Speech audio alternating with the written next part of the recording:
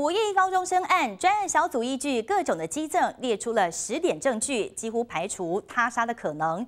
但是这名夏姓配偶虽然可能躲过杀人重罪的追诉，但是也有新的市政显示了，他呢是随机找路人来办理结婚登记，两个人根本没有热恋的照片，或者是任何甜言蜜语的相爱证据。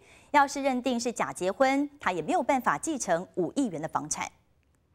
无意高中生跟夏新配偶同框坠楼前，两人搭电梯上楼，几乎没有交谈。夏新配偶说他们是相爱结婚，但专案小组有新事证，双方认识半年间，毫无一般热恋中情人的情话绵绵，也没有什么。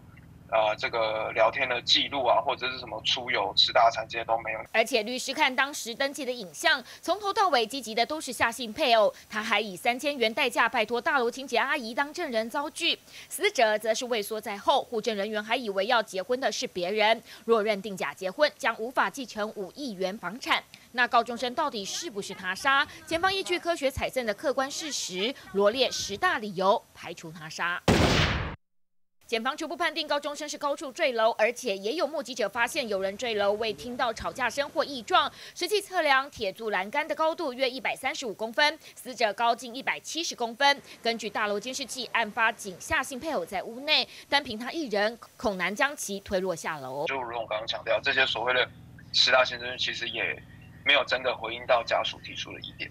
至于外界质疑夏新配偶换衣，他声称返家不久就去洗澡，还有死者一到他家就开电视看等都有证实。再加上屋内未打斗，死者体内也未验出酒精、葡萄催芽剂或其他常见的两千多种毒药物反应，针孔、脖子伤痕都是急救时所留，监视器跟行车记录器均未录到死者坠楼过程，几乎排除他杀的可能。但家属还是质疑这是一桩谋财害命案，案情依旧。扑朔迷离。记者中部综合报道。